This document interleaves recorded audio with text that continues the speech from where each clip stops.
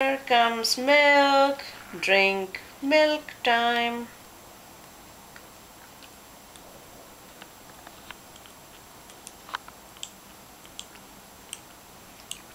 She enjoys, she's finishing this whole bottle of formula right now.